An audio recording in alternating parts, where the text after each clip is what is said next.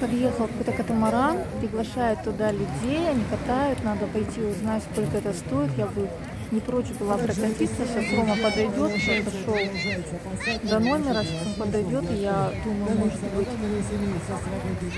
прокатились бы на этом катамаране. отправиться с нами в морское путешествие, искупаться кристально чистой, теплой, прозрачной водичке, а также полюбоваться яркой панорамой большого города Сочи. Подходим, друзья, не стесняемся и уже поторапливаемся. Отправление у нас произойдет через 5 минут. А, ну мы не успеем.